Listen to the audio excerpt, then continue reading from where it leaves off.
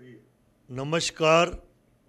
आज है दो नवंबर 2022 बुधवार का दिन है और मेरे भाई जैसे दोस्त श्रीमान जितेंद्र जी आंचलिया पिछले चार महीने से राजस्थान पुलिस यानी कि डी डीवाईएसपी है, लेकिन हमारे उदयपुर शहर में कुछ आतंकवादियों द्वारा कन्हैयालाल साहू की हत्या कर दी गई थी। राजस्थान सरकार ने उनको चार महीने से सस्पेंड कर दिया था, जबकि आज सभी अखबारों में यह न्यूज़ है कि जयपुर से राजस्थान सरकार के बड़े पुलिस अधिकारी यानी कि डिपार्टमेंट ने, पुलिस विभाग ने जितेंद्र आचलिया के साथ साथ तीन और अधिकारियों को, जिसको कह सकते हैं बाइज्जत बरी कर दिया। मतलब जाँच में यह पाया गया है कि श्रीमान जितेंद्र जी आचलिया ने तो जहाँ मर्डर हुआ था, वहाँ पर तुरंत पहुँच भी गए थे और उसके बाद में जितेंद्र जी आंचलिया ने ही कुछ अपने आइडियाज़ आई आईक्यू होते हैं पुलिस वालों के पास? नंबर्स होते हैं। तो उन्होंने कहा कि भीम देवगढ़ की तरफ़ वो दोनों ही जो आतंकवादी थे, जिनका नाम है कोई सिराजुद्दीन या मोइनुद्दीन, जो भी है तो यानी कि जितेंद्र आंचलिया की कंप्लेन यानी कि उसने नोटिस करवाया पुलिस अधिकारियों को डिपार्टमेंट को, उसके आधार पर ही भीम देवगढ़ के वहाँ उन आतंकवादियों को दर्द बोचा।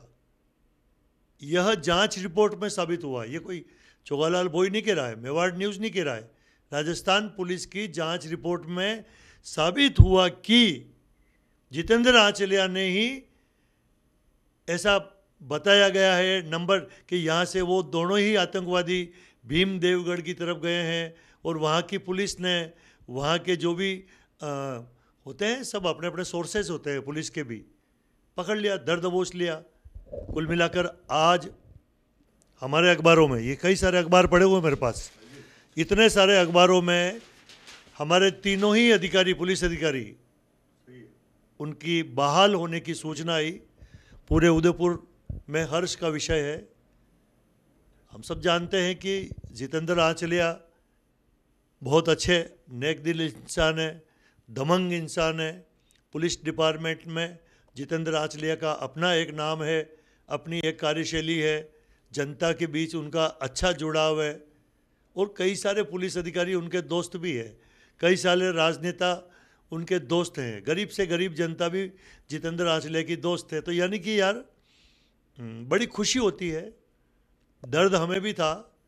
दर्द कई सारी उदयपुर की जनता को था कि यार हमारे अधिकारी को गलत गलत सस्पेंड किया, लेकिन डिपार्टमेंट है, सरकार है, ऐसा होता रहता है। जो काम करेगा उसी को तो कुछ न कुछ लोग पूछेंगे या उसी को कहीं दिक्कत आएगी, लेकिन जब वो जैसे वो नहीं कहते हैं कि सोना जब बहुत ज़्यादा तपता है तो और उसमें निखार आता है। कुल मिलाकर ये देखिए आप फ़ोटो में, हम सभी लोग जितेंद्र जी आंचलिया के दोस्त हैं। चाहे वो लाल सिंह जी जाला हो, चाहे मैं खुद हूँ, भारतीय जनता पार्टी के बड़े बड़े नेता हो, कांग्रेस के बड़े बड़े नेता हो, सबके साथ उनका बहुत अच्छा व्यवहार है।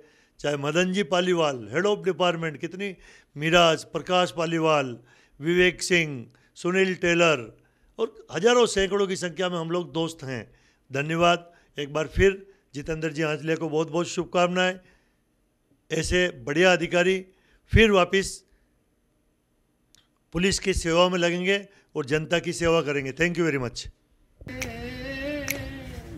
जिसे मान चुकी सारी दुनिया, जिसे मान चुकी सारी दुनिया, मैं बात मैं बात वही दोहराता हूँ। भारत का रहने वाला हूँ।